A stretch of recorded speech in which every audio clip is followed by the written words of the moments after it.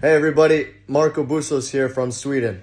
You know, I just want to wish you guys all the best in the tournament. You know, this is where I grew up playing. You know, these tournaments mean a lot to me. It's where I started loving the game. And I just want to say again, you know, wish you guys the best. Be safe, have fun, and always play with a smile. Enjoy.